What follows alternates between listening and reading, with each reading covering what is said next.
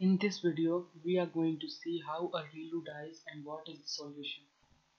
ReLU or rectified linear units are widely used neuron that helps to make a neural network. Suppose if an input x fed in the network and the input is positive, then it will hold that value as it is. But if the value is negative, then it takes the value as 0. Or mathematically, we can represent that function as f of x equals max of 0 and n, where x is input. This gives several advantages while training a giant neural network like it is less computational expensive. Unlike sigmoid it need not to compute or do any type of exponential operation during forward and backward passes. It is a function that just can be made with a simple if statement that significantly reduce both training and evaluation times Let's see how ReLU actually works during forward and backward pass with this simple example. So the input to the Z is the sum of input times weight of previous layer neurons and put it into ReLU activation function. So according to the function, the maximum value will be considered as the value of Z.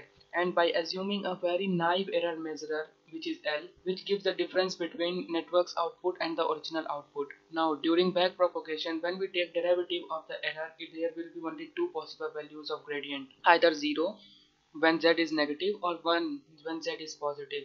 Remember, this constraint is only for the above error measurer. If you change the error measurer, then the value of 1 will replace with some other value, but the 0 will remain 0 no matter what the error measure you choose. This raises a serious problem. How will it learn with a zero gradient? Means weight will not update even a tiny bit due to zero gradient, no matter how many forward backward passes you make. So where is the learning in this case? This problem is known as dying ReLU problem in which a neuron is unable to learn or update its weight, resulting something like this, where a model didn't improve its accuracy even after several epochs.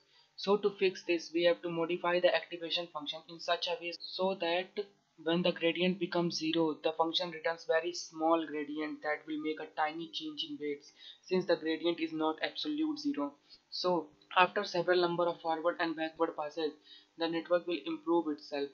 Now we have a new activation function and it's called leaky ReLU or leaky rectified linear unit which is a backbone of GANs or generative adversarial networks. There are several more functions to resolve this problem but leaky ReLU is widely used among them. So when the next time you're gonna train a GAN don't forget to use leaky ReLU instead of ReLU. But wait, how will you train a GAN? Well it seems like tutorial of next video. Thanks for watching.